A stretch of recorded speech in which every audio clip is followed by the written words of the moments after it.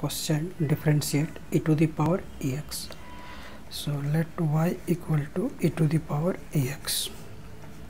differentiate with respect to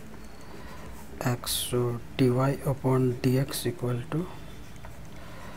derivative of e to the power a x तो इसमें भी हम डायरेक्ट ई एक्स का फॉर्मूला यूज़ नहीं कर सकते क्यों तो इसमें हम चेन रूल यूज़ करेंगे और ई एक्स के रिस्पेक्ट में इसको डिफ्रेंशिएशन करेंगे।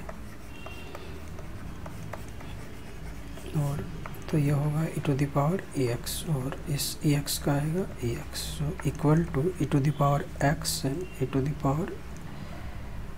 e x answer